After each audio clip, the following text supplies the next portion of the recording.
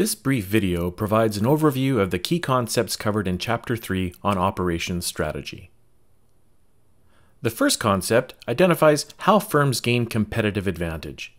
Now, competitive advantage refers to a firm's ability to achieve market and financial superiority over its competitors. It's essentially how a firm wins the game. One of the keys to developing a sustainable competitive advantage is understanding the wants and needs of customers in a variety of customer segments. We can call these customer expectations. Now, once a firm understands the customer's expectations, it can deliver an attractive customer benefit package to meet those expectations.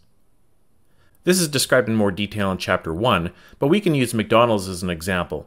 Here you can see the customer benefit package illustrates the primary food and service that's surrounded by peripheral goods and services such as playgrounds, toys, and even the Ronald McDonald House charities. The other key to developing competitive advantage is by building and leveraging operational capabilities to support desired competitive priorities. So, again, with McDonald's, McDonald's competes on the basis of speed and responsiveness, so their entire operating system, from ordering to food prep to payment, emphasizes speed over all else. The next key concept digs deeper into understanding customer expectations. By getting close to customers through market research, focus groups, employee feedback, or customer surveys, firms can identify two very important things order qualifiers and order winners. Order qualifiers are basic customer expectations, essentially the minimum performance level required to stay in business. So, for example, if you're running a donut shop, you better make good donuts. And who doesn't like a Krispy Kreme donut, right? Order winners are goods and service features and performance characteristics that differentiate one customer benefit package from another and win the customer's business. Here's where we can think about Apple's integrated mix of products and supporting services that attract and retain customers. Next, Chapter 3 describes how customers use three different attributes to evaluate the quality of goods and services.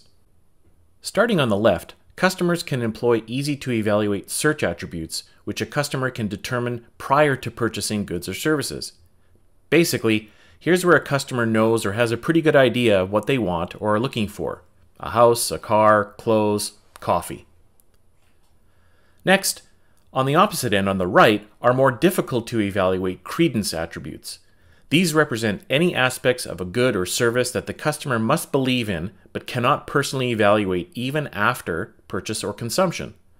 How good were those legal services you received? Did that mechanic that worked on your car have any leftover screws or bolts? In the middle are the experience attributes. These can be discerned only after purchase or during consumption or use. How does your meal taste? Are you enjoying your vacation? Does your phone take good pictures? Together, these three attributes make up the goods and services continuum, which shows that high goods, or typically more tangible content, is easier to evaluate, whereas high services, or more intangible content, is more difficult to evaluate. This is important because knowing what customers go through to evaluate goods and services helps firms develop and deliver better goods and services. The next concept illustrates the basis upon which firms compete. We can call these competitive priorities, and they represent the strategic emphasis that a firm places on certain performance measures and operational capabilities within a value chain. There are essentially five basic competitive priorities. The first is competing on having the lowest cost. Walmart is the classic example of a low cost priority, and its entire operational focus is about achieving the lowest cost of doing business. Quality is the second priority. This is a more nebulous priority since quality is very subjective and depends on the, how the firm defines quality. Honda and Toyota emphasize the build quality and reliability of their cars, and their operations are focused on achieving high reliability. We also cannot underestimate the contribution of quality to profitability by impacting both the revenues and costs. Emphasis on improved quality of design can result in higher perceived value that enables firms to charge higher prices and also increase market share, both of which contribute to increased revenues and ultimately higher profitability. Improved quality of conformance, on the other hand, contributes to lower manufacturing costs and service costs, which also contribute to higher profitability. Time is the third priority. This is all about quick response, short wait times, or quick delivery.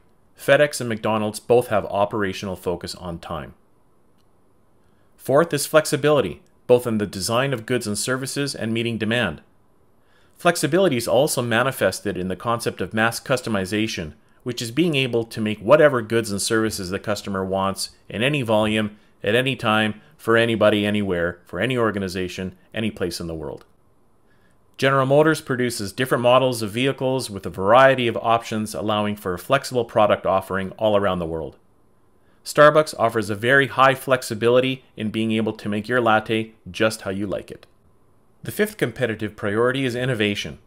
This is the discovery and practical application of commercialization of a device or a method or any idea that differs from existing norms. Historically, we can talk about PCs, iPods, touchscreen iPhones, electric cars, and even Uber or Lyft. These are all examples of innovations. This is a difficult priority to maintain, however, because it requires large and sustained investment in R&D to keep the innovation going. Do you know anybody that owns a BlackBerry these days? The next concept introduces us to operations management and strategic planning. It all starts with strategy itself, which can be defined in a number of ways.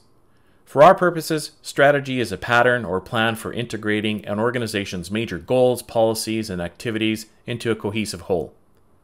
Strategy both supports and is supported by a set of core competencies or strengths that are unique to a particular organization.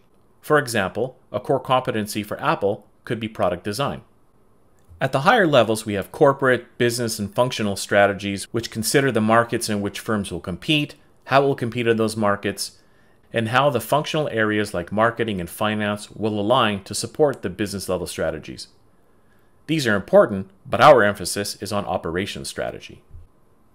Operations strategy is the set of decisions across the value chain that supports the implementation of higher level business strategies.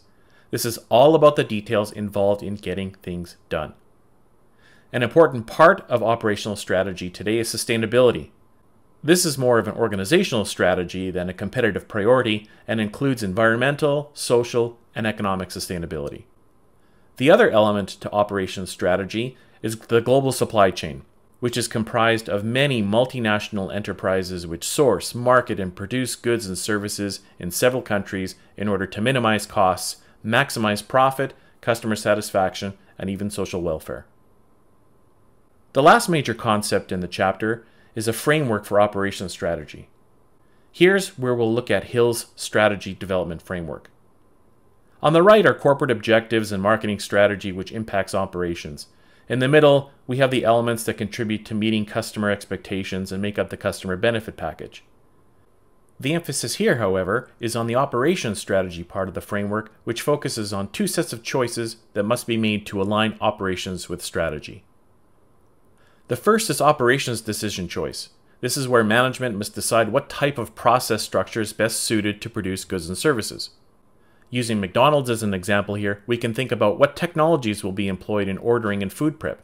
Where are the stores located and what is the optimal size for each location type? How often will inventory be replenished? The second is infrastructure choice.